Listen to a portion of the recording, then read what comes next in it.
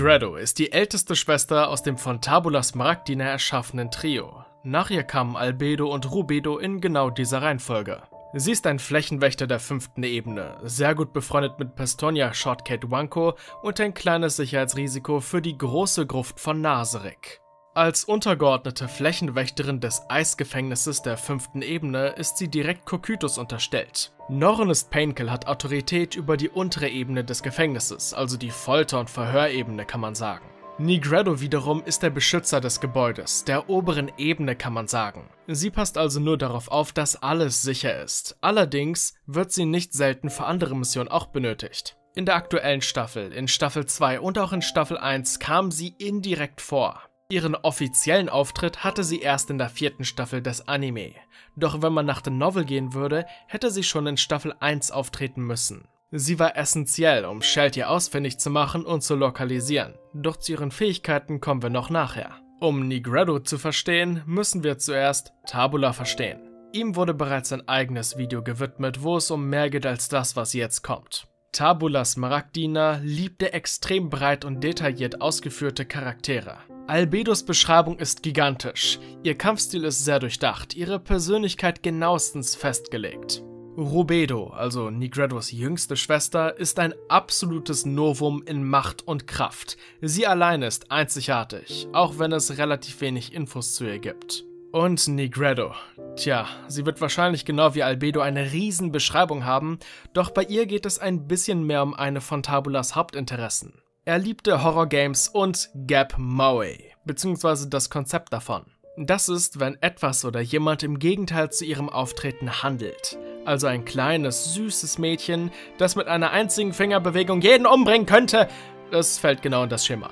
Nigredo ist eine Frau des Horrors. Ihr fehlt Gesichtshaut, ihre Gestik hinterlässt einen Schatten in der Stimmung und sie trägt stets diese weirde Schere mit sich, keine Ahnung. Allerdings ist Nigredo freundlicher und hilfsbereiter als Sebastian. Ihr Karma ist höchstwahrscheinlich im oberen Bereich ab 200. Aber was weiß ich schon. Sie ist streng dagegen, Menschen grundlos Schaden zuzufügen. Insbesondere Kinder liegen ihr sehr am Herzen. Babys sind ihr absoluter Schwachpunkt. Wenn du sie dazu irgendwie überzeugen willst, irgendwas zu tun, komm irgendwas mit nem Baby. Lustig ist aber, dass ihr Mutterinstinkt, nenn ich's mal so, sofort verpufft, sobald ein Baby älter als zwei Jahre alt ist. Sie würde es zwar nicht ohne triftigen Grund töten oder sowas, aber aktiv beschützen mit ihrem Leben wäre dann weniger eine Option.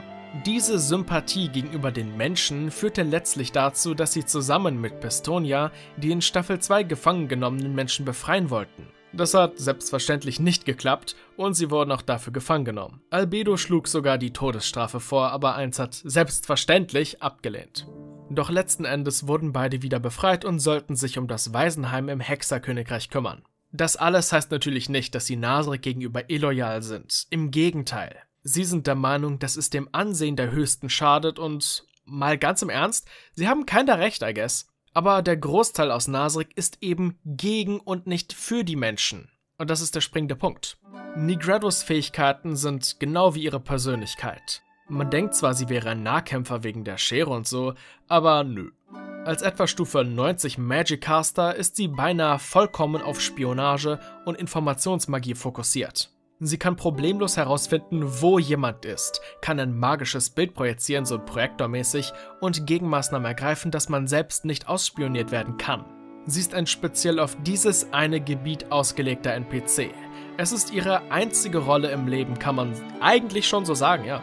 Sollte es aber doch dazu kommen, dass sie kämpfen muss, hat sie eben ihre Schere. Im Anime ist das Ding groß wie ein Schwert und wird wahrscheinlich auch genauso verwendet werden. In der Novel ist diese aber normal groß und wird gehalten wie ein Messer. Ob sie irgendwelche tragenden Nahkampfklassen dafür bekam, bleibt übrigens unbekannt. Welche Rasse, Klassen und Stats leider ebenfalls. Mich interessiert wirklich, was sie für eine Rasse hat. Ich denke mal irgendeine Horrorgestalt, sowas wie aus HP Lovecraft-mäßiges, kennen wir ja schon ein paar Rassen davon, wie Solution oder so. Oder vielleicht auch ein Dämon wie Albedo, aber wir wissen es ja nicht. Und abgesehen davon zu sagen, dass sie eine Körpergröße von 1,70 Meter hat, äh, kann ich eigentlich nichts mehr über sie sagen. Smash.